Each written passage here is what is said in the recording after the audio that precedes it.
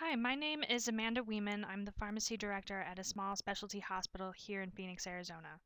I'm here today to talk to you a little bit about the clinical pharmacy services offered at our facility and to tell you more about what clinical pharmacists can do for you as providers. There seems to be a lot of misconceptions about what exactly is the role of a pharmacist. What is their job? Why do they get paid so much? And some of the common questions that I receive are What, do you just count pills all day? Why does it take so long for me to get my medications? Can't you just slap the label on the vial? The role of the hospital pharmacist is even more misunderstood. Typically, the hospital's pharmacy is relegated to the basement with no windows, behind locked doors, and it's really not very often that the pharmacists make their way out to the floors to interact with the providers. I'm hoping that after today's presentation, you'll understand that we do more than just push a verify button and dispense medications. Before I begin telling you about some of the services we provide, I'd like to give you a background on pharmacist education. And it's changed within the last 10 to 15 years. Um, pharmacists are required to complete at least two years of an undergraduate program. A lot of pharmacy schools are now requiring an undergraduate degree to be accepted into pharmacy school. And pharmacy schools provide a doctorate of pharmacy. Um, there's three-year programs and four-year programs. The three-year programs are typically accelerated and go throughout the summer. So essentially, it's a four-year doctorate degree for a pharmacist. Many pharmacists are choosing to take additional training in a residency program. Um, the first year of a residency is just general hospital training. Second year is a specialty training residency, um, typically in critical care, infectious diseases, transplant, those types of, of settings. There's also fellowship programs and specialty training and board certifications that pharmacists can undergo. The additional education provides more clinical background for the pharmacist, our role is moving from a dispensing and verification role to a clinical role. And this allows us to provide additional services to the providers and to patients. The services that we provide at our hospital include anticoagulation monitoring, antimicrobial stewardship, kinetics, management of anemia, pain management, TPN management, and a new program minimizing chemical restraints. So I'm going to delve into each one of these and give you a better idea of how the pharmacist can provide services.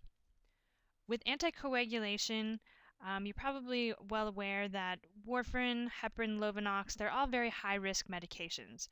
The Joint Commission has national patient safety goals that require monitoring and reporting of any adverse events that are occurring with these medications. At our facility, the pharmacists are monitoring every one of these patients on um, warfarin, heparin, Lovenox, looking at lab values, making recommendations for changing doses, um, and then also providing education to patients to ensure that they're safe at home when they're discharged on the medication. While most hospitals have some sort of pharmacy-driven anticoagulation program, not too many hospital pharmacies are involved with antimicrobial stewardship.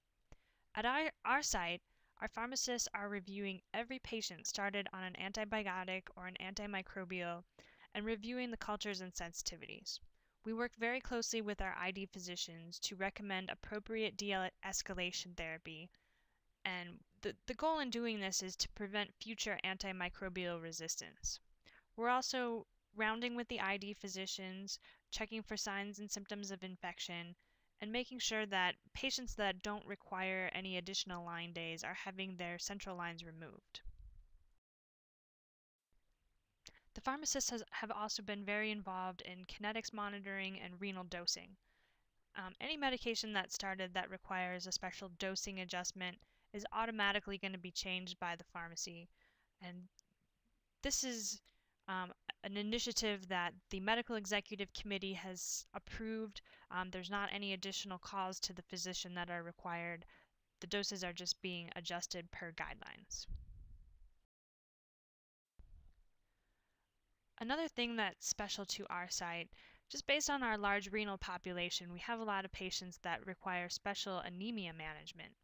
Um, pharmacists are looking at hemoglobins, hematocrits, and patients' iron stores to make sure that we are limiting the number of blood transfusions that our renal patients would be requiring.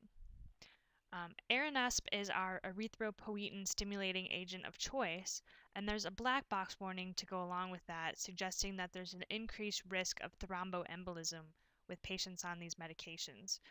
Um, so what the pharmacists are doing is basically ensuring that based on lab values, um, we're using the, the doses correctly and we're using the drug appropriately.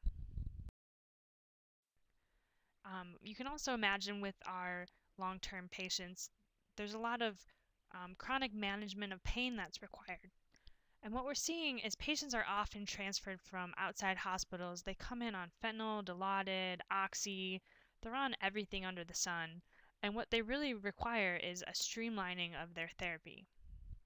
We want to reduce the potential of oversedation, um, respiratory depression, and make it a little bit easier for, for our physicians to be able to discharge our patients. Um, we know that a patient can't go home receiving you know, eight doses of IV Dilaudid. We have to have a better plan of care. So whether it's a long-acting fentanyl patch or a sustained release tablet of some sort, the pharmacists are making these recommendations to physicians of how we can better control pain in these difficult to treat patients. One thing to note with our pain management program is that it does require a pharmacy consult. This is not something that the pharmacists are automatically intervening with. In our attempt to get pharmacists more involved with other disciplines, um, Total parenteral nutrition is one example of how the dietitians work very closely with pharmacy to manage patients' nutritional needs. We have the pharmacist review electrolytes and blood glucose levels every day of patients on TPN.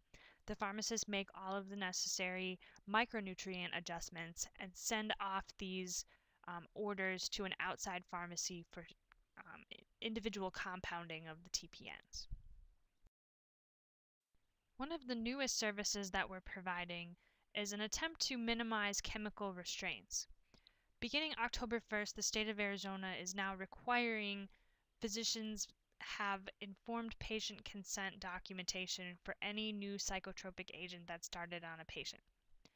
And with this, the question arises, are we over-medicating our patients? Are there alternatives that we could be using other than chemically restraining them? And with this process, the pharmacists are verifying indications for medications like antipsychotics and benzodiazepines, and they're working with physicians on a plan of care to minimize the duration of use of these agents. We know that there's an increased risk of mortality when antipsychotics are used in elderly patients in this type of environment. Um, so we want to make sure that there's a plan of care in place and that everybody is working towards minimizing use of these agents. So I hope I've provided you with a little information of what our pharmacists can do. I encourage you to come visit the pharmacy and meet the pharmacists that are there. And anytime you feel that your patient may benefit from pharmacist management of medications, please do not hesitate to put in a pharmacy consult. Thank you so much.